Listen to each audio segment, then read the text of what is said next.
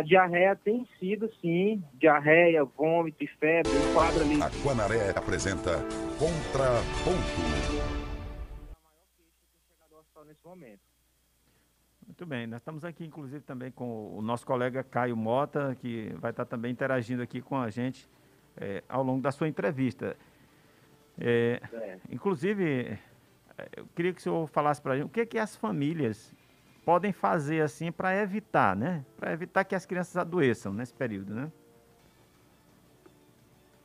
Certo. É, principal fator é o cuidado com os alimentos, porque a transmissão é, com contato de, de, o contato do vírus com a via é, oral é o principal fator ali de transmissão desses agentes. A maioria das diarreias elas são causadas, causadas por vírus. Isso é até uma grande dúvida das pessoas que pensam que sempre diarreia é uma infecção bacteriana. Na verdade, na maioria das vezes é infecção viral. Então, esses vírus entram em contato ali pela boca, pelo alimento. Então, se a gente cuida bem dos nossos alimentos, a gente cozinha bem os alimentos, faz a, a, a lavagem correta das frutas, dos legumes, a gente já ajuda bastante. É, alguns agentes, como moscas também, que acabam disseminando é, esses agentes pelos alimentos, a gente limpando bem os alimentos, a gente consegue fazer com que evite bastante, diminua essa transmissibilidade mesmo da doença, sabe? Muito bem. É, e já estamos ali, né? Já é estamos... porque a TV está desligada. a TV está desligada, né? Isso, mas já estamos é, é, também. Nós estamos já na audiência também do pessoal da TV, ok? TV. Boa tarde a quem está em casa é, aí acompanhando a, a gente pela é, televisão. Doutor Alisson, Mota. É, Caio Mota aqui. Eu gostaria de fazer uma pergunta. Essa doença pode levar a criança a ficar internada? Sim, ótima pergunta. a diarreia por incrível que pareça, em 2021, mas a diarreia é uma doença que ainda mata muito. A diarreia, principalmente aqui no, no nosso interior do Maranhão, é uma doença que mata muito. O que mata no, nesses quadros diarreicos e de vômito é a desidratação, desidratação grave. E a gente vê que muitos pais é, deixam para trazer os filhos para o hospital quando o quadro já está agravado, sabe? Caxias é uma cidade que atende principalmente o seu público, mas várias cidades vizinhas, então, geralmente, quando pedem transferência de outras cidades para Caxias, que a gente aceita aqui no hospital infantil, essas crianças já vêm no estado mais grave, desidratação avançada, é, até acesso venoso para pegar nessas crianças é um acesso mais difícil de pegar, porque a criança está bem desidratada, então desidratação mata. Então, muitos, além de ficar internados, têm que fazer é, aqueles cuidados iniciais é, aqui na emergência e muitos têm que ficar internados justamente por isso. É uma doença que, pela desidratação, mata. E até um ponto que eu queria comentar, que, por exemplo, alguns pais existe todo um protocolo da Sociedade Brasileira de Pediatria sobre reidratação, esse protocolo para atender essas crianças, certo? E muitas vezes chegam os pais querendo ou dar de forma desnecessária uma hidratação venosa, quando o filho só precisaria de uma hidratação via oral mesmo, aquele sorinho de reidratação oral, enquanto outros que a criança precisa da hidratação venosa não querem aceitar porque vai furar o filho, às vezes o acesso, a criança está tão desidratada, o acesso é difícil, tem que tentar uma, duas, três vezes para conseguir o acesso, e aí os pais ficam naquela angústia e às vezes não querem aceitar. Mas eu queria deixar claro que se o médico está prescrevendo aquela hidratação, ela com certeza vai fazer diferença na vida do filho. É, nós estamos falando aqui, só para situar as pessoas de casa, nós estamos conversando com o doutor Alisson Vasconcelos, que é clínico geral lá do Hospital Infantil e também trabalha no Hospital Macro Regional. Ele está conversando com a gente aqui é, sobre as crianças que estão dando entrada lá no Hospital Infantil reclamando de diarreia, né? As, fam as famílias estão... E, e, a gente sabe que... Assim, o pessoal chama de virose da mosca. É, exatamente. E, e assim, a gente sabe que toda vez que uma criança adoece, a família toda adoece, né? Sim. Eu queria que você falasse um pouco disso também. Me parece que o hospital fica mais, mais lotado de parentes do que das, de criança. É verdade mesmo isso? Isso é, isso é, é, é verdade, sim. É até um fato engraçado, às vezes, a criança chega com quatro, cinco acompanhantes. Olha aí. E isso também é interessante de ser comentado, que quando chega ao hospital, a gente pede, até pela pandemia, que entre só um acompanhante. E muitos pais não querem entender. Às vezes a gente aceita assim, ah, o pai tá com a, tá o pai, a mãe, o casal, tudo bem, mas às vezes querem chegar três, quatro pessoas entrarem no consultório. Então o consultório médico assim é pequeno em relação a é o tamanho ideal para aquela consulta, certo? Não para três, quatro pessoas. Entendi. Então, é, e, a- e realmente, geralmente, não só a criança, mas outras pessoas da casa podem ser acometidas ali por essas doenças diarreicas, principalmente por ser a maioria vírus e eles serem de fácil transmissão. Certo. Doutor, nós estamos a, a- são uma hora e dois minutos. A gente vai aqui para um rápido intervalo e a gente volta falando já como é que as crianças, a relação da criança com essa pandemia também, porque a gente sabe que a criança também está exposta a essa doença. A gente vai para um rápido intervalo e volta já já, rapidinho.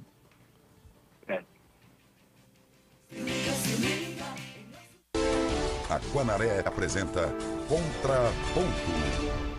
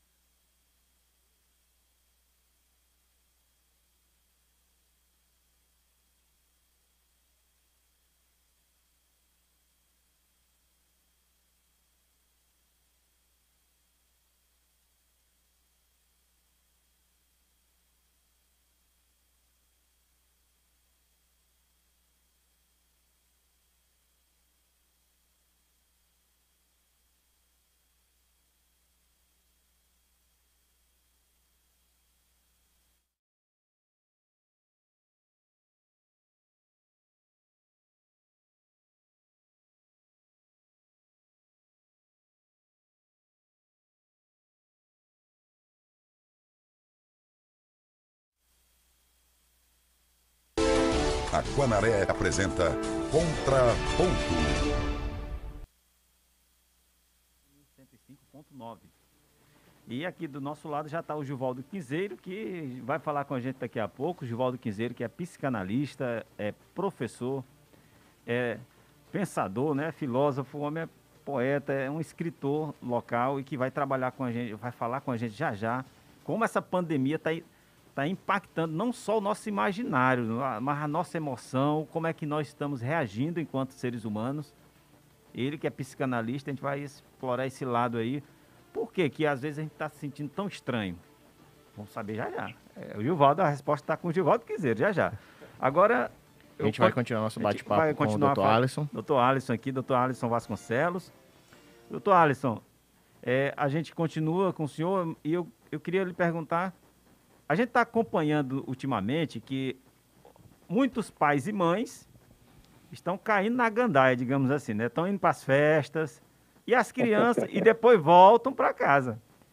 Isso pode afetar as crianças? Então, está afetando as crianças? Como, como é que a gente pode pensar. Eu não estou me referindo a todos, hein? tem muitos pais e mães responsáveis aí, viu? Certo. Em primeiro lugar, eu queria que. Vou falar uma coisa muito óbvia, mas que infelizmente parece que as pessoas esqueceram é que a pandemia não acabou. Verdade. E no momento, o mês de fevereiro tem mostrado assim pico mesmo de, de transmissão, principalmente é, do Covid. A gente estava falando no, no bloco passado das diarreias, mas assim, a infecção por Covid em todas as idades, ela tem aumentado bastante. O diagnóstico de Covid tem voltado a dar aquela subida, certo? É, em pico mesmo agora em fevereiro. E o que que isso é, tem a ver com as nossas crianças? Tem muita gente que pensa, inclusive, que criança não pega Covid, ou é, que né? criança não pode morrer por Covid.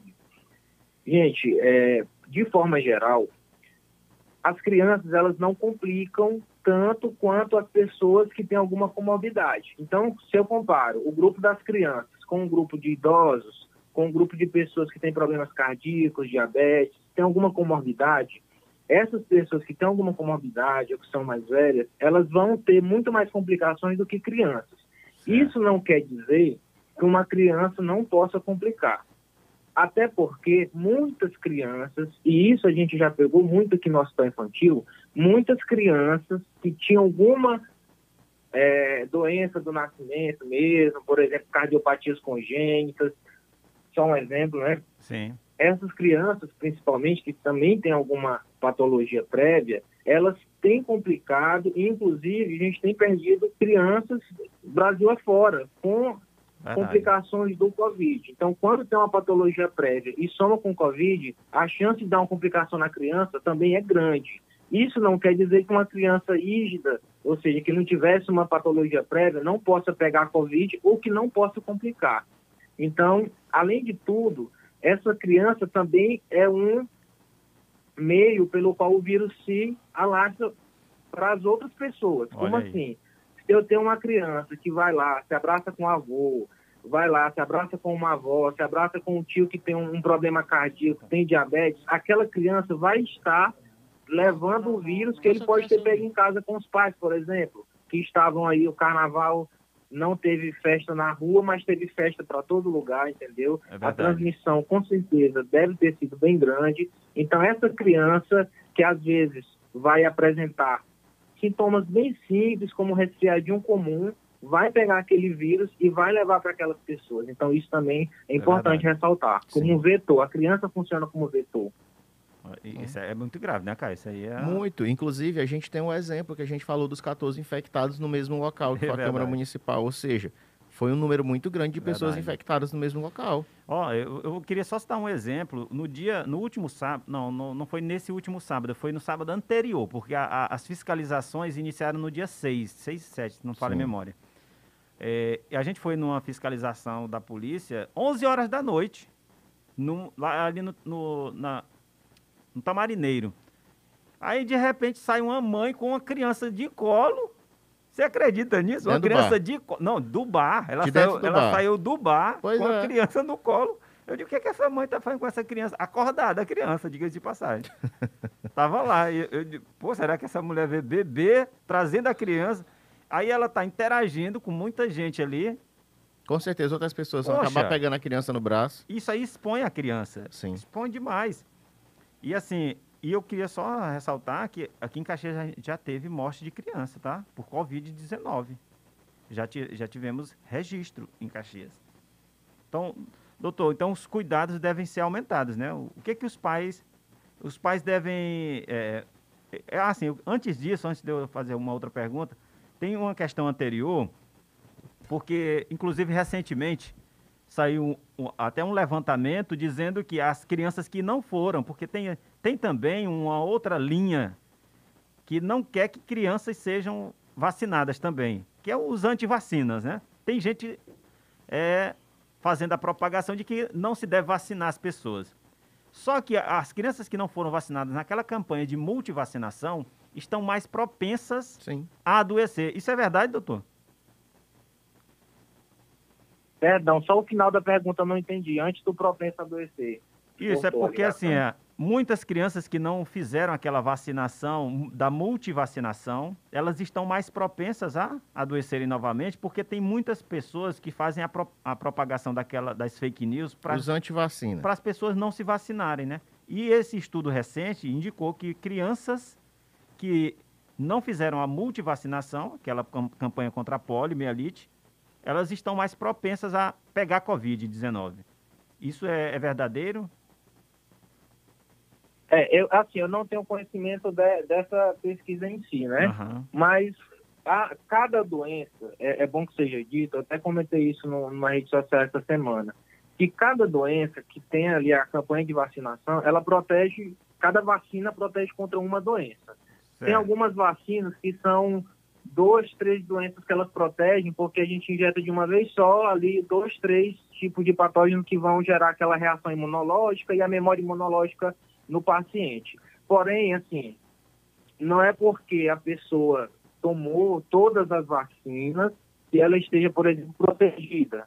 Pegando assim uma ideia contrária, né? Sim. É, ah, se não tomou todas, essa criança em si, ela é uma criança que vai adoecer mais, porque a vacina ela vai proteger contra várias doenças. Certo. Então, se uma criança pode ter uma gama ali de doenças e ela pode pegar o Covid e ele sim pode trazer complicações, mas pela associação das duas em si. Não é que uma dessas vacinas seria proteção para o Covid em si. Claro. E eu acho que é importante também, um ponto que você tocou, em relação ao grupo das crianças eu acho que não é a questão de não querer vacinar. Todas as pessoas é, teriam. Ah, era muito bom se vacinasse todo mundo, sim, mas dentro das campanhas de vacinação, a gente tem sempre as prioridades.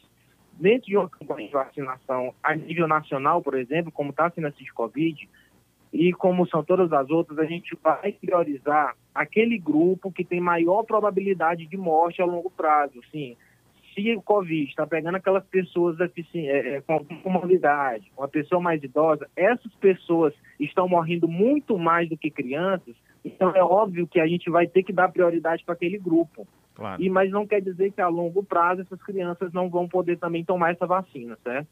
Com certeza. E aí, a gente está vendo a estratégia que é vacinar primeiro os idosos, depois vai, vai baixando, né? Isso aí é um. O, as estratégias estão indicando isso.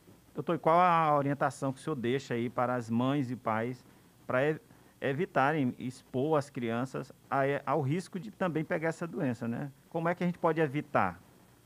É, o, os critérios são os mesmos para adultos e crianças com relação à prevenção contra a Covid? Sim. É importante destacar que crianças pequenas, principalmente assim, menores de, de, de dois anos, principalmente esse grupo, mas assim, criança pequena não é legal que use máscara. Eu vejo, eu já vi bebê chegando no hospital, às vezes bebê de máscara. Por quê? Criança, a, inclusive a maior causa de morte de criança é né, que é, é baixo oxigênio no sangue e tal. Só que é importante dizer assim, que a máscara na criança, no bebê principalmente, que é menor de um ano, não é um negócio muito bom. Então, evitem usar máscara nessas crianças. Porém, nas outras crianças maiores, assim como nos adultos, as orientações são as mesmas. Usar máscara, fazer uso de álcool para higienização das mãos, lavar as mãos bem lavadas com água e sabão, ao chegar em casa, com compras da rua. Ou seja, aqueles mesmos é, é, cuidados que nós temos com adultos, a gente vai ter com as crianças. E aí, eu ressaltar o que eu falei anteriormente, ter um cuidado maior dessas crianças, principalmente quando apresentarem síndrome gripal, de gripe, de resfriado, de ter contato com aquelas pessoas que são do grupo de risco. Isso também é importante. Uhum. Às vezes o avô ou a avó não quer aceitar que o neto fique distante. Ah, ele só está gripadinho. E aí essa gripezinha uhum. pode ser sintoma de Covid uhum. e passar para essa outra pessoa que tem alguma comorbidade. É é, eu queria comentar até, se vocês me permitem, é. tanto da diarreia, como a gente tinha falado no bloco anterior, quanto do Covid, tem a, a, chegaram ao hospital não só as queixas de diarreia, mas chegam queixas de várias patologias. E, ultimamente, mas isso até já é um cuidado já, mas ultimamente tem aumentado o número de vindas ao hospital de forma desnecessária. E isso também faz com que o número de pacientes suba bastante, o número de pacientes aqui na emergência. Por quê? Imagine você, 11 horas, na quinta-feira à noite, 11 e meia da noite, atendi uma criança que tinha uma, um prurido, uma coceira, há três semanas. Imagine só, uma coceirinha que vinha há três semanas, a pessoa não, não teria aquela necessidade de vir ao, ao hospital. Por quê? Ao vir ao hospital com uma queixa dessa, a criança pode estar em contato com outras crianças que tenham Covid ou uhum. que tenham outras doenças e possa pegar delas, entendeu? Certo. Então, assim, essas principalmente quando for sintomas leves ou uma doença que já está, é uma doença simples e que está ali há, há 15, 20 dias, leve primeiramente no postinho de saúde, converse com a sua enfermeira do posto, leve seu filho lá, faça acompanhamento com o médico do posto, a UBS está do lado da nossa casa. Então, é lá que a gente tem que buscar a primeira assistência. A UBS é a primeira, segunda e terceira porta de entrada do sistema de saúde. Caso necessite, o médico, a enfermeira pode encaminhar ao hospital. Nesses casos leves, casos diarreicos, paciente está com muitos episódios de diarreia, de vômito, isso sim deve ser trazido ao hospital, okay. principalmente se a criança apresentar aqueles sinais de desidratação, como nós já comentamos, certo? Muito bem, doutor. Então, quero lhe agradecer é, muito obrigado. Foi é, inclusive essa parte de qualquer né? coisa que a criança sentir, já quer correr para o hospital infantil, de é. levar realmente na UBS, é que pode ter contato com eu eu é, é uma discussão muito grande minha com a mãe do meu filho justamente por isso, porque qualquer coisinha, não, vou levar no hospital infantil, vou levar, calma qualquer coisinha é querer. Você pode ir logo na UBS. Vamos na UBS, vamos falar é com algum. orientação. Eu tenho muitos amigos que são pediatras. Vamos falar bem aqui com um amigo meu que é pediatra. Exato. Pode só tirar uma dúvida, porque não é nada sério. Exato. Porque eu sei como é mãe, tudo se desespera, a, quer a levar no hospital. Mas espera, ela quer calma, resolver logo, né? Calma. É verdade. Doutor, muito obrigado. Eu quero só agradecer a sua disponibilidade. Sei que o senhor está no plantão aí e, e tirou um tempinho aí do seu do, do intervalo aí para falar com a gente. E você está colaborando aqui com a Sociedade de Caxias, inclusive fazendo com que muita gente não procure a unidade sem a necessidade, né? Obrigado mais uma vez. Nada, eu te agradeço a oportunidade. É, só um recado final que eu poderia deixar, se vocês me permitem também. Pode falar. É, sobre a, a automedicação, a gente adulto geralmente qualquer dorzinha de cabeça quer tomar alguma coisa, né? Uhum. E aí a gente quer fazer, às vezes, a mesma coisa com a nossa criança. Então a criança começou a ter diarreia, por exemplo, é, a pessoa já quer dar Infectrin, que é um antibiótico, que só deve ser prescrito com receita médica, mas que você, qualquer farmácia de esquina vende sem receita, infelizmente. É, a criança começou uma tosse leve ou está com sintomas gripais, como a gente estava falando também do Covid, aí a pessoa já quer dar amoxicilina, que é outro antibiótico. Então eu vejo que isso também tem chegado bastante. Pessoas automedicando-se e medicando as crianças de forma errônea. Então ah. esse é o recado que eu quero deixar, viu? E mais uma vez, muito obrigado pela oportunidade. Obrigado mais uma vez, doutor. Obrigado. Falamos com Alisson Vasconcelos. Muito obrigado e um bom trabalho aí pro, pro senhor. Muito bem. Alisson certo. Vasconcelos, que é clínico geral e atende ali Essa no... questão da automedicação de crianças ah. é algo que a gente... Que Seríssimo eu, isso aí. O quê? Que eu discuto muito sobre isso, porque eu não gosto. Eu não gosto nem de me automedicar, imagine, só você ter, Só você ter uma ideia, há, há duas semanas, muitos jovens estavam dando entrada lá no hospital geral, no, melhor, no complexo hospitalar Gentil Filho, com intoxicação medicamentosa. Eu não duvido que seja isso aí, não. Eu Automedicação, pessoa vai tomar sem a orientação profissional, acha que está fazendo uma coisona. Tem gente que toma. Não, a gente não viu aqui, tem gente, não, vou tomar ivermectin não sei de quê, ah, hidróxido não sei de quê. E aí, você faz a automedicação sem saber como é que vai dar no Sim. seu organismo a reação. Gente, primeiro consulte o profissional. O profissional é que sabe da área. Não é você que não, às vezes não sabe. Justamente. Não leu nada de medicina e já quer se medicar. É, com a raiz, não sei de quê e tal. Tem gente que é assim. É. Mas aqui vamos Verdade, para o nosso próximo entrevistado. E que já está aqui. Eu quero agradecer aí ao Gilvaldo Quinzeiro, o Gilvaldo que é um... Eu, consigo, eu, consigo eu, eu, eu, digo que o Gilvaldo ele é, um, é um produtor cultural e um, e um e, e um além de incentivador, ele faz com que a cultura dê continuidade. Ele é um propagador, um produtor cultural, né? Propagador da cultura. Já percebi que o Julimar é fã. Ah, meu, além disso, é meu amigo, né? É meu amigo demais. E é um ótimo profissional também. Sim, sim. Na área, é, além de ser escritor, poeta, ele também é psicanalista. E nós vamos explorar esse lado psicanalista do, do Cruzeiro hoje, primeiramente, boa tarde. Nós estamos boa tarde, Caio Valdo, Mota. Meu nome é Caio Mota. E o, o Araildo Santana aqui com a gente. Givaldo, muito obrigado por ter vindo e boa tarde, primeiramente. É, boa tarde, Limar, boa tarde, Caio.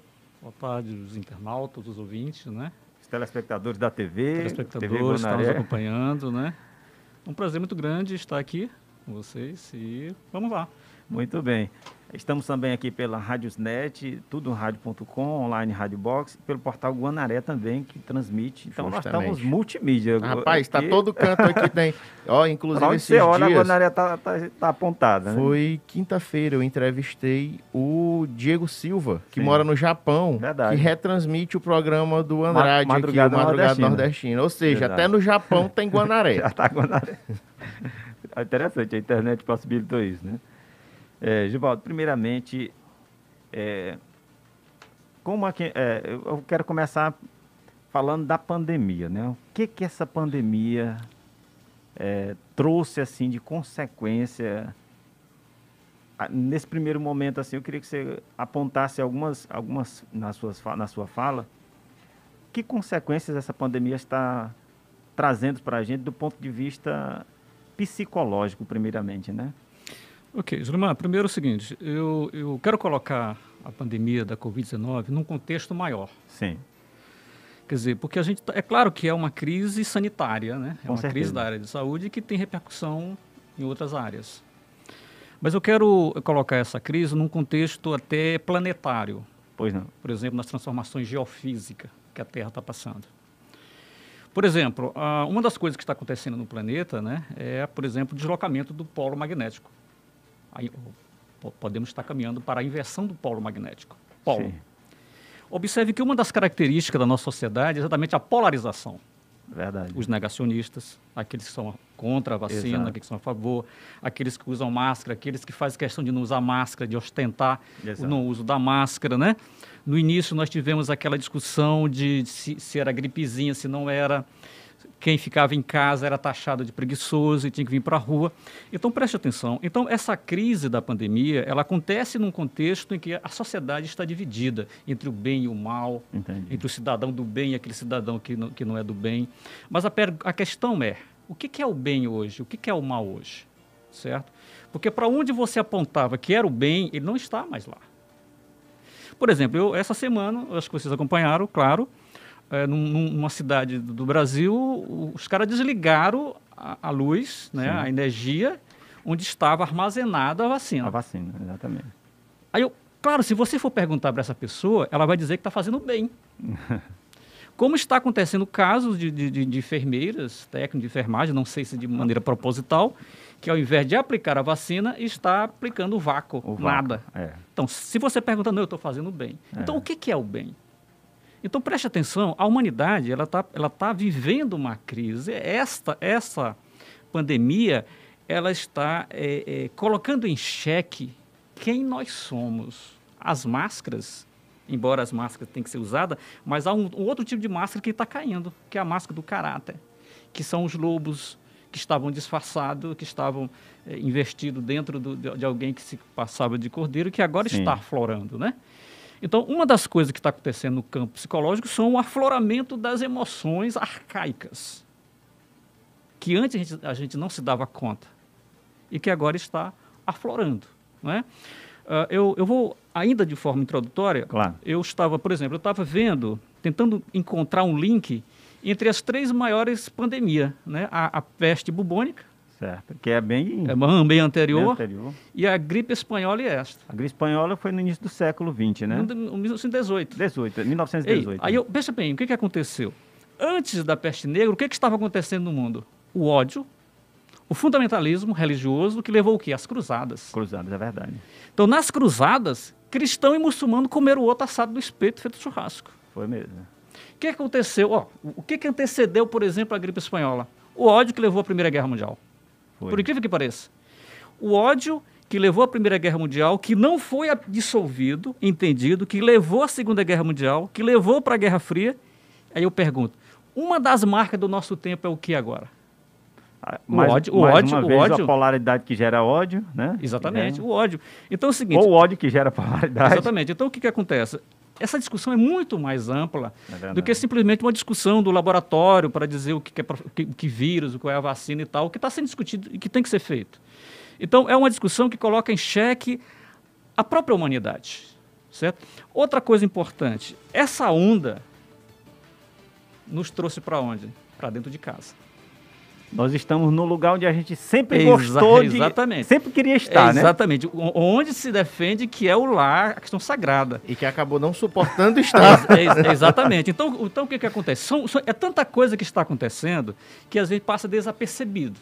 Verdade. Então, poderia haver... Eu, olha, Júlio, mas quem me acompanha nas redes sociais, quem me acompanha no, no, no grupo de amizade sabe Inclusive, num outra emissora, eu falei alguma coisa para você da, da, bolha ilusória, de alguma coisa da, exist, do, da existência, Sim. da crise, da dor, do vazio humano, né? Exato.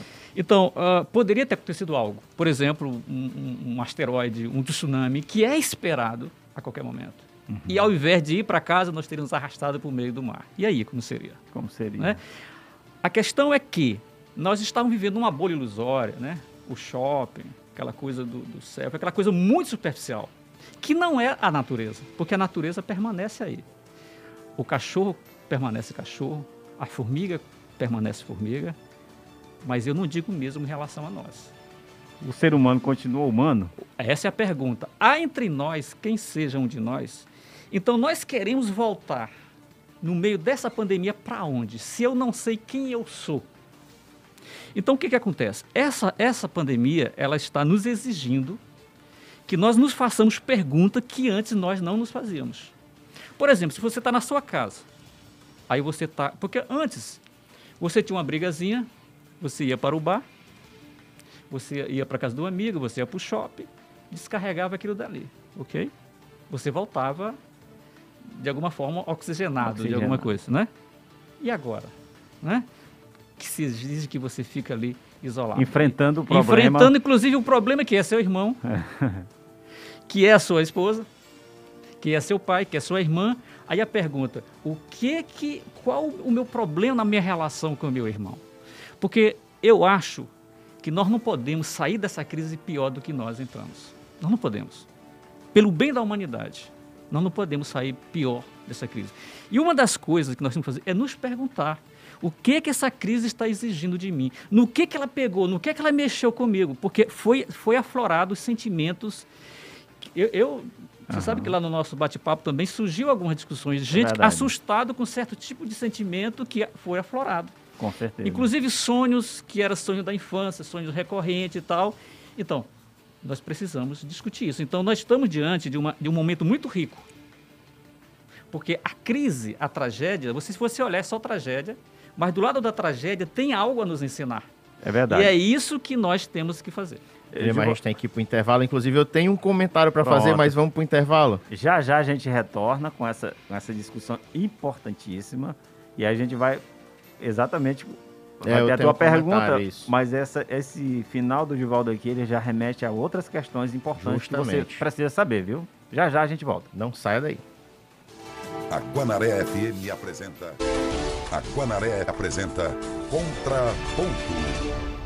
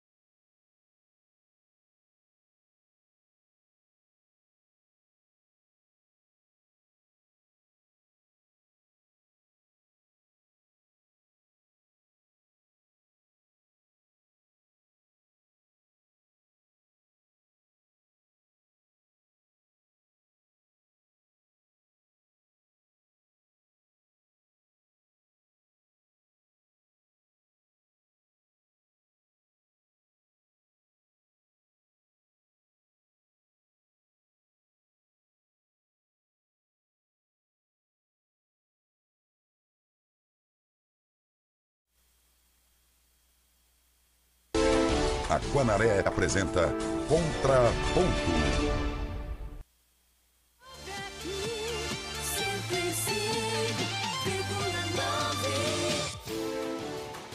A Guanaré FM apresenta Contraponto. Contraponto.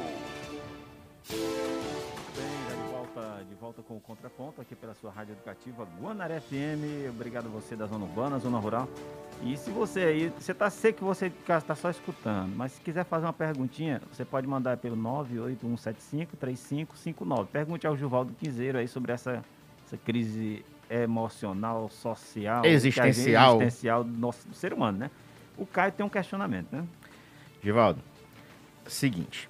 Anotando boa tarde a todos tarde, de né? casa. Né? De novo. Givaldo, é o seguinte. É, eu gosto muito de conversar sobre esse assunto porque um dos maiores problemas que as pessoas têm para se enfrentar é conseguir enfrentar a si mesmo. Ou seja, parece que as pessoas não se suportam. As pessoas não conseguem ficar só.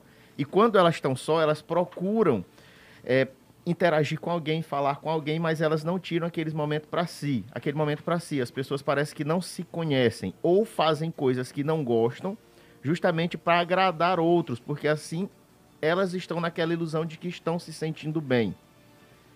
Então isso é uma situação muito complicada. A pessoa não consegue se encarar, a pessoa não consegue suportar ela mesma. E essa pandemia forçou as pessoas a ficarem sozinhas. Principalmente quem mora só, meu amigo. Não tinha para onde ir, não. Então isso fez com que muita gente até surtasse, né? É, é Caio, é, é, como eu falei, essa pandemia ela tem muito a nos ensinar. Falando essa questão de estar sozinho, não estar, estar sozinho, é, veja, veja o que, que acontece. Quando você investe só na pele, só na aparência, que é o que muita gente acha que é isso, os adereços, é como o, o Big Brother.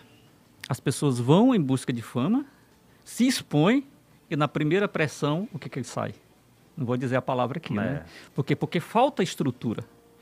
Então, uh, para você enfrentar um momento como este, não tenha dúvida, você vai, você vai ter que suportar saculejo. E para suportar o saculejo dessa crise, você tem que ser, você tem que ter você e ser você. Esse é um dos maiores segredos do ser humano. E eu digo mais, o vencedor, o cara que vai dominar o mundo, é aquele que, vai que tiver o equilíbrio mental. Manter a sanidade. Manter, a, san manter a sanidade. É, é isso é aqui. Um, é um desafio. Esse, esse, é o, esse é o grande desafio. E outra coisa, essa questão da companhia. Eu sempre uso essa frase assim: Por mais que nos amemos, eu nunca serei tu e tu nunca serás eu. Então, às vezes, no relacionamento, a pessoa assim, ah, ele é Flamengo, é Vasco. Uhum. Então, eu sou Flamengo, você passa a ser Flamengo. Ela gosta de usar cabelo curto e eu prefiro comprido. Ela vai e usa comprido. O que, o que, que vai acontecer nisso? Eu simplesmente vou absolvê-la. E ela deixa de ser ela. Uhum. Então, o amor há de suportar o outro, há de suportar a alteridade. Porque o que, o que é isso? No momento que você se torna eu, eu estou só. Sim. É verdade. Porque não, tem, porque não tem outro. É, a pessoa isso, parece que isso, quer transformar a outra no espelho dela, exa né? Exatamente. E isso, isso, é um, isso é um perigo muito grande. E as pessoas, assim, é, a, a, mulher, a mulher tem muito isso, né? A mulher, ela se comporta muitas vezes mais como mãe uhum. na relação do que, por exemplo, como companheira, como, companheira, como amante. E isso, e isso é perigoso. Eu me lembro de uma história que uma, uma aluna ela me fala, ah, professor, eu estou indo na escola, namorava com eu, estou indo na escola para saber o, a, o, o boletim do meu namorado. Eu digo, o quê? eu digo, digo, você, eu digo, você, Aí, você é uma mãe sofredora, meu entendeu? Deus então é isso. Então, é, é, o, o, colega falou aqui, Araí, a, que, a questão dos desertos. Meu amigo, nós precisamos enfrentar os nossos desertos. Sim. Os nossos fantasmas. Os grandes sábios da humanidade, entre eles Jesus Cristo, Buda. 40, 40, é. 40 dias no deserto. É. Então, uh, nós precisamos. E, e, esse é o nosso deserto. Essa crise é o nosso deserto. A pandemia proporcionou, é, proporcionou esse, esse, esse retorno. Caminhasse no nosso deserto. Exatamente. Então, as pessoas que estão mais sofrendo são aquelas pessoas que não têm si. São aquelas pessoas que têm o lado de fora. E uh, preste muito bem atenção essa questão da exterioridade. Nós estamos Exato. mais para fora do que para dentro. Por exemplo, ouvir uma música hoje não significa mais eu ouvir para mim. Eu tenho que ligar o meu som para mostrar para o bairro todo que eu estou ouvindo aquela música. Isso. Ok? Daí, ah, daí, o fenômeno dos paredões. Dos paredões e dos anjos da vida, os ons, os, os safadões, tudo, tudo, é aumentativo. É, é né? Então, o que, que acontece? As pessoas, na intimidade, as pessoas, o casal não se contenta de ir para o motel e viver aquilo em quatro paredes ela tem que compartilhar no mundo. Tem que fazer um vídeo Tem que tirar uma foto. Para é. mostrar que ela está vivendo aquilo dali. Qual a necessidade disso? Então nós estamos mais do lado de fora. Aliás. Do que do lado de dentro. É uma né? busca desesperada por atenção, João? Com certeza, com certeza. Principalmente nesse tempo de imagem isso. midiática. Verdade. Entendeu? Hoje você, você, com a galinha debaixo do braço, você faz sucesso. Sim. entendeu?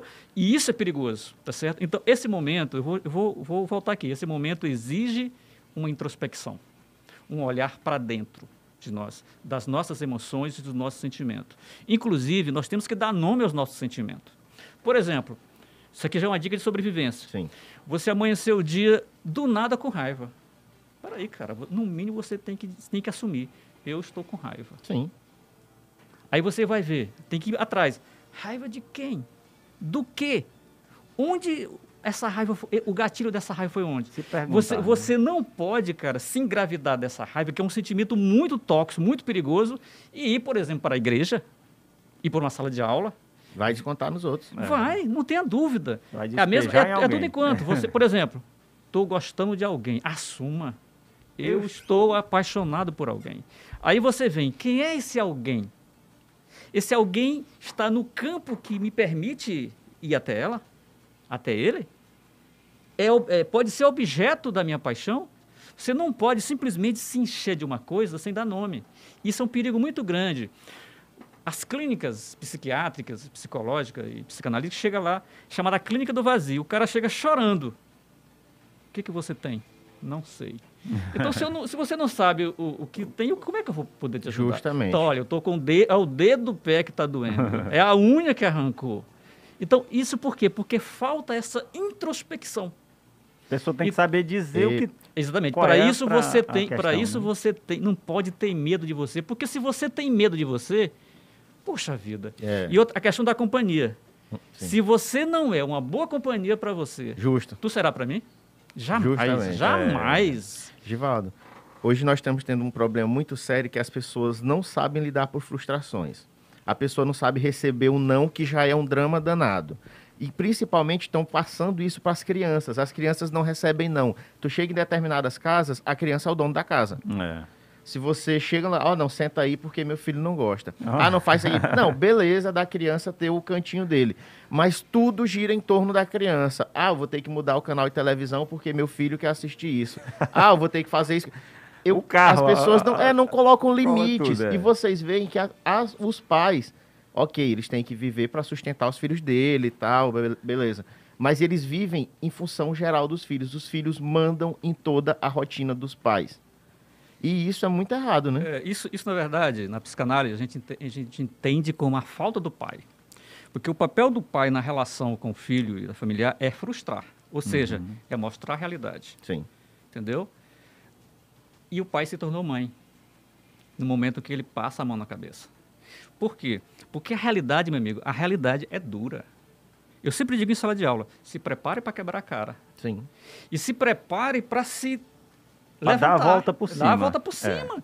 Eu digo, eu não vou chegar a dizer para vocês que vocês não vão se frustrar. É claro que vocês vão, cara. E você, como é que você vai achar que o amor da tua vida que você encontrou agora não vai passar a perna em você? Claro que vai. Você precisa se preparar para isso e aprender com isso. Então falta essa estrutura. Quer dizer, tem gente que no dia que cair não se levanta. Não se levanta porque não tem humildade para admitir que caiu. Que caiu. Que caiu. E não, é, o ego está muito tá, grande. Está muito né? inflado, né? né? E não tem força, estrutura egóica para se levantar. Isso é sério. Isso, e, e isso é que leva as brigas de trânsito aí que é, eu vejo aqui. Hoje ninguém ah, quer. É, na realidade, pro... Givaldo, eu estava observando, muita gente não quer nem brigar mais. Ela já quer resolver de outra maneira. E eu fico observando. As pessoas nem discutem. Não, não querem discutir mais. Discutir abre abre para você encontrar um consenso. Rapaz, vamos chegar tem uma, a uma... Tem uma, tem uma coisa que está acontecendo que, é, as pessoas não que é- querem que chegar é, a isso. Que é a questão da, da, da, da, da nossa ilusão. Ou trazer de volta, precisamos trazer de volta que, isso. Que é mais ou menos o seguinte. Tudo hoje você aperta o dedo aqui, automaticamente a coisa funciona. Já resolve. É isso aqui, né? Uhum. Isso, isso, é uma, isso é uma ilusão para nós aqui. A natureza não é assim. Por exemplo, a banana não vai ficar madura por causa da tua fome. Então nós estamos criando um ritmo ilusório que não é, que não é da natureza. É imediatismo, imediatismo. mesmo. Por exemplo, eu vejo assim o caso assim, as pessoas chegam no aeroporto, o avião atrasou 20 minutos, o cara começa a quebrar o aeroporto. É. E nesses 20 minutos para consertar o avião. Por quê? Porque nós achamos que tudo tem que ser feito assim. É a questão da frustração. Não é assim. Então, o filho tem que saber que o mundo não é do jeito, do jeito que o pai faz tudo na boca do, do, do da criança, né? Do, do, presente. Você tem que fazer. De, na nossa infância, nós construímos os nossos brinquedos. Nós sofria é, é, com os erros e os acertos até chegar no, no, que seria o brinquedo. Hoje não, o brinquedo já vem tudo pronto. O, aliás, a criança nem brinca mais. Ela porque quebra. apertou o botão é. e, o, e, o, e, o, e, o, brinquedo vai sozinho lá. Então ela não tem mais aquela coisa de, de, de, de, de colocar o pé na, na, lama, de, e a cultura do, E a cultura do consumismo também ela é repassada para a criança, porque assim, eu fico observando que a criança às vezes pega o brinquedo, ela brinca pouco com o brinquedo e quebra o brinquedo. e o pai é obrigado a comprar um outro brinquedo. Ó, a questão a, cri a, cri a, criança hoje, ela não brinca, ela só consome. É. Por exemplo... São acumuladores, né? Exatamente. Você, você compra um brinquedo hoje, com 15 dias esse brinquedo já está velho. É. O celular. O celular, você compra o celular hoje, não sei, com um mês, dois meses, o teu celular já está velho. Tu já está com vergonha de chegar na sala de aula, lá no, no, na, na, na, tua, na tua você tribo. Comp você comprou cinco, mas já saiu seis Exatamente, na outra semana. Já, tu já fica aqui. Você nem, é. você nem teve tempo de desfrutar de todos os aplicativos. Você não nem de pagar. É, exatamente. é que eu falei numa palestra lá, digo, olha, tu fica, a tua, você, a tua mãe nem terminou de pagar o teu celular, que ela está se esborrachando aí, e você já está chorando pelo outro. Então, uma das coisas sérias da crise que nós estamos vivendo, existencial, é a nossa relação com o tempo. Sim. Entendeu? Porque nós estamos criando, vivemos um tempo que é um tempo ilusório, é uma espécie uhum. de uma bolha ilusória, mas que na realidade não é assim. Ou seja, a semente, ela precisa ser irrigada a terra, tratada, vai se transformar numa mudazinha de planta, uhum. até se transformar numa planta grande e dar fruto. Mas não, nós estamos apressados e queremos que já saia maduro. Isso na natureza não é assim. Givaldo, isso até remete à questão de muita gente cair em golpe hoje em dia. Porque o imediatismo está muito grande e as pessoas querem ganhar dinheiro de uma forma rápida, de uma forma fácil. Fácil. Aumentou a questão de apostas. Tem gente que vive para apostar. Em futebol, é em basquete, é não sei o quê, vive para apostar. Exatamente. E tem gente que é, pirâmide, esquemas de pirâmide que nós conhecemos bastante, muita gente entrando, muita gente perdeu dinheiro. Rapaz, eu conheço gente que perdeu 10 mil naquele Telex frito, lembra daquela época? Lembro, é pirâmide, é o, é o sistema é, de pirâmide. O cara perder né? 10 mil de uma vez. Isso aí é o imediatismo, eles não querem construir algo, eles já querem chegar e tá pronto, tá pronto. né? Exatamente. É, é, aí, eu, falando... a, ainda nessa, nessa questão, Gilvão, eu queria até, é, ainda a, a, a pretexto aí da questão do imediatismo. É, a, além da, da, do imediatismo, eu, eu queria te perguntar se a internet, eu me refiro às redes sociais digitais, Instagram, Facebook, se ela está servindo também como um espelho. Eu me refiro a um espelho onde você consegue enxergar o tamanho, às vezes, da burrice que você cometeu ao publicar um comentário, ao publicar um vídeo e aí há aquela repercussão tão grande do vídeo que você postou, ou do comentário que você postou, e você vê o tamanho da bobagem que saiu de você, né? Pois é, isso, isso, isso tem um lado, Slimar, que é agir por impulso. Sim. Tipo, eu entro numa discussão contigo, não gostei do que você disse para mim, e eu vou descarregar isso aonde?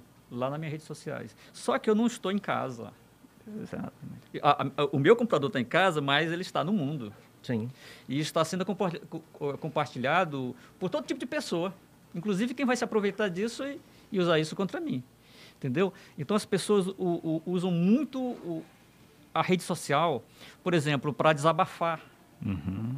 Não tem as pessoas que vão para o Big Brother para dizer que, que é homossexual, quer dizer, para compartilhar uma coisa íntima que só poderia ser compartilhado na intimidade, na intimidade. Do, do, da, da, sua intimidade, da sua familiar, vai para compartilhar com o mundo. É aquilo que eu falei da exterioridade. Nós estamos deixando a interioridade e, e trabalhando mais a exterioridade, né? Então, assim, a rede social, ela tem um lado positivo, inclusive este de quem está nos acompanhando. Exatamente, muita certo? gente está acompanhando. Porque todas as ferramentas, ela tem os dois lados. Agora, saber usar a ferramenta é onde é que entra o equilíbrio. É onde é que entra a sabedoria. Tem uma palavra que ela é fundamental nesse momento, sabedoria. É você saber dosar as coisas. Por exemplo, se nós falamos de polaridade, cuidado, cuidado com os extremos. Porque se você ficar nos extremos, tu vai ficar frito. Você é tem que buscar o equilíbrio.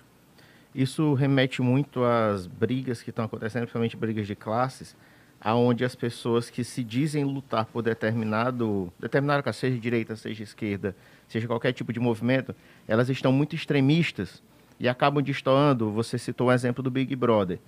É, duas pessoas que entraram no Big Brother, que na realidade três, né? Que é a Carol Conká, a Lumena, que é psicóloga e ela tem um discurso muito forte.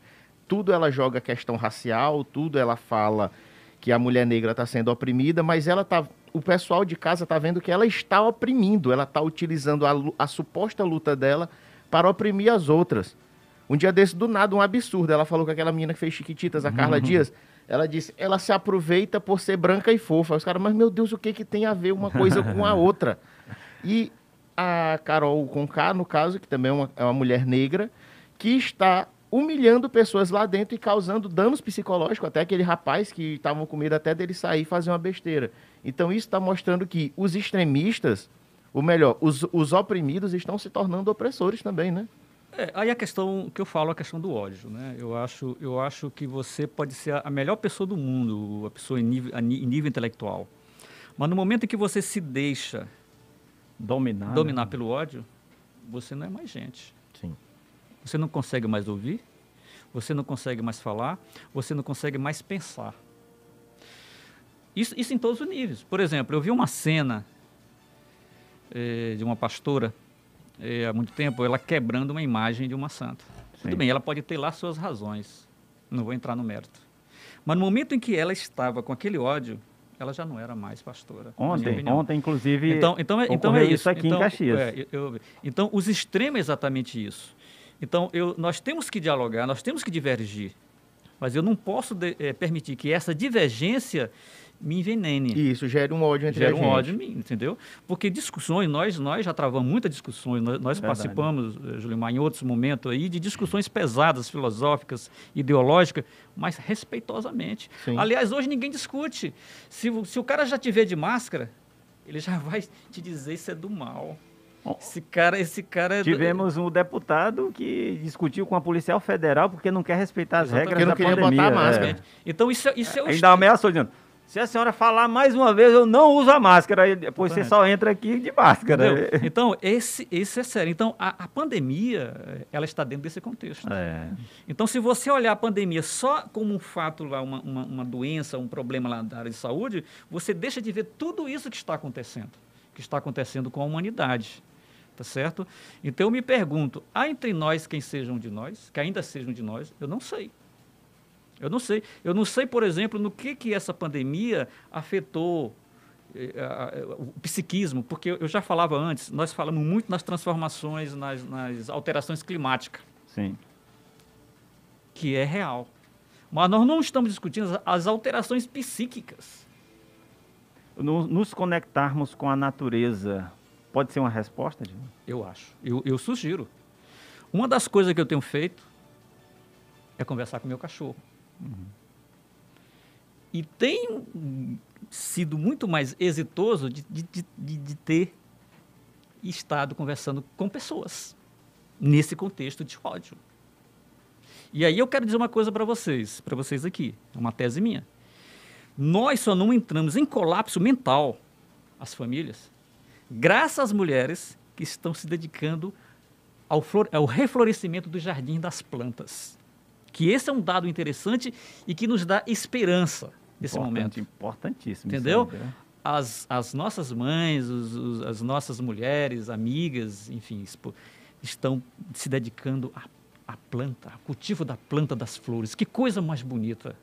Isso, isso tem um simbolismo muito grande. Porque as nossas mulheres é exatamente quem vai suportar essa carga maior.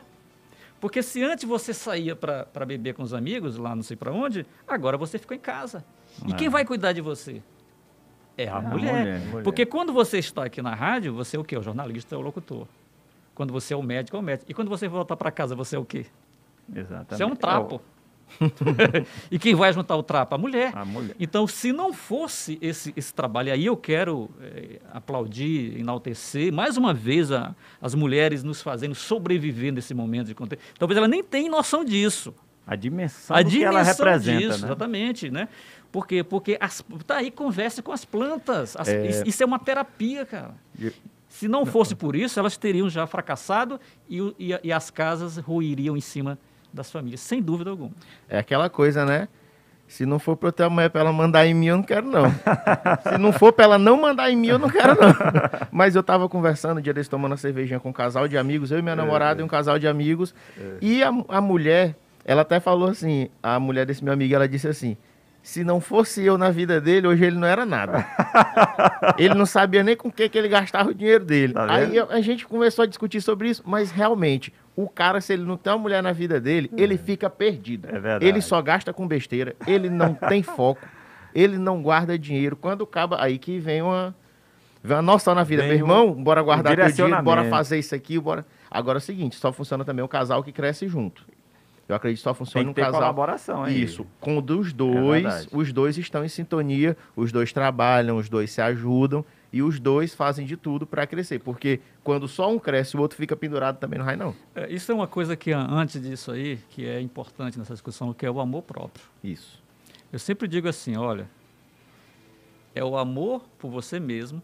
Quando você se ama, é esse amor que vai te sustentar no dia que você levar o fora da gata lá, da garota Exato. lá. Então, é esse amor por mim, é esse que me garante a minha sobrevivência. Então, quando eu me amo, fica mais fácil conviver com o outro. Uhum. Por quê? Porque por mais que eu amo o outro, ele será sempre o outro, ele não será eu. Então, é fundamental esse amor próprio. E aí vem o diálogo. Porque muitas vezes na questão de profissão, às vezes vem a questão da competição Isso. e aquela briga, né? Ah, tu tá se sobressaindo mais do que eu, entendeu? Tu tá, tu tá mais na, na, na mídia mais do que eu. Uhum. Então é preciso ter muita maturidade, Sim. né? E não e respeitar o espaço do outro. É entendeu? Quando você falou eh, em off a questão de deixar que a, a, a sua esposa fosse para um lugar e você para outro, eu também faço isso em casa. Eu acho que, que o homem e a mulher é, tem que respirar. Sim. Tem que ter o espaço. Inclusive para lá, um, com as amigas dela, ela poder falar de, até de mim. É, verdade. Eu, mas existe hoje em dia também Desabafar, né? uma, desconfiança, uma desconfiança excessiva mas, e um medo do que os outros vão pensar. Eu vou te dar um exemplo. Eu já fui para um restaurante aqui, na Avenida Senador Alexandre Costa, e minha namorada estava comendo sushi do outro lado. Aí muita gente via e ficou, já, será que separaram? separaram? Foi o que aconteceu? Que eu, não, aconteceu? Eu, eu, queria tomar minha cerveja, eu fui tomar minha cerveja. Ela queria comer sushi, eu não como sushi, ela foi comer o sushi dela. Sim. Cada um foi pro seu canto. Normal. Mas as pessoas não, não entendem isso. E outra coisa, muita gente, Givaldo, tende a julgar o seu relacionamento, julgar você, e muita gente fica com medo disso, né? É, é, olha, só para só só dizer que nós temos dois minutos de, de discussão ainda. Dois minutos, rapaz. é, essa, essa questão da, da, da as pessoas, é, a, a, felicidade do outro me incomoda. Nos é incomoda, desse jeito. né? Então você começa a namorar, o cara diz, não vai uma semana, termina. Deu seis meses, não vai, você começa lá. Aí se casa. Tá namorando, mas é, não casa. É, é, não casa. Aí, aí quando se é, casa, aí é. você já sabe que tem a crise, a crise dos sete anos e tal. Então há uma torcida toda do Flamengo quanto a isso, né? Então, assim, é preciso ter muito equilíbrio e, e o equilíbrio mental. Sim. Porque na, na hora H é você que vai ter que responder por tudo isso aí. Justamente. É, é, para muitas pessoas que têm essa dificuldade de dialogar com, de, de, se escutar, de dialogar consigo mesmo, de conviver. Inclusive você falou que eu queria até que você é, repetisse novamente. É, a solidão, quando você está só em casa, não quer dizer que você esteja só. Por, ah, por quê? Isso? Quando você está consigo, você não está sozinho. Você está sozinho quando não está consigo. Então a verdadeira solidão é a solidão de massa, solidão dos carnavais. É você estar tá no meio da multidão, dançando e pulando, e no fundo, no fundo, você está sozinho. Então, quando você está só, você está inteiro. E nós temos que viver essa experiência. Né? Os grandes homens da humanidade, os grandes profetas, eles, eles, eles, eles atravessaram os seus desertos. O próprio Jesus Cristo. E esse momento de pandemia é o nosso deserto. Nós temos que escutar, nós, nós não podemos sair pior do que nós entramos. Então, quando aflorar um sentimento ruim, uma tristeza, dê nome a essa tristeza. Eu sempre digo, converse com teus fantasmas. Eu chamo meus fantasmas para tomar café comigo. O que, que, é isso, cara? O que tu quer comigo? Tá? Deixa eu dormir. por, que, por que, que eu estou sentindo tanta raiva de fulano? Ex exatamente. Tô com raiva de ciclano. Por que, que eu tenho raiva daquela pessoa e, se ela nunca me fez nada? É, e, e só eu olhei para ela. Tem, eu, eu tem gente que a gente gostei. bate o olho. É. Não, eu, eu sou muito dono disso, cara. Eu bato o olho numa pessoa, meu Deus, eu não fui com a cara depois. Mas por quê? É. Mas por quê? Mas, é, mas, mas, aí tem um significado. E é preciso ter muito cuidado com isso. Mas tem gente que tem energia ruim. Não, tem, é tem, tem. Mas é o seguinte, é porque assim, é, tem uma coisa que chama-se projeção. Sim. Às vezes, o que eu vejo nele, não está nele. Está tá em mim. Está em mim. Olha aí. Aí eu... Para aí então, nós sempre, nós sempre temos o que aprender. Sim.